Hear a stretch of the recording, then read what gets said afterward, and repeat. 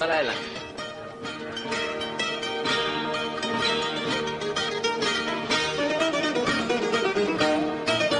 Και αν σε πικράνα εγώ με τον εγωισμό μου συμπαθήσε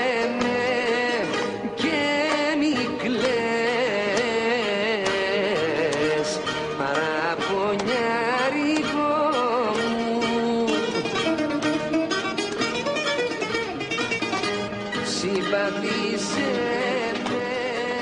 με και Το γεμίσεις παρακαλώ. Μια στιγμή.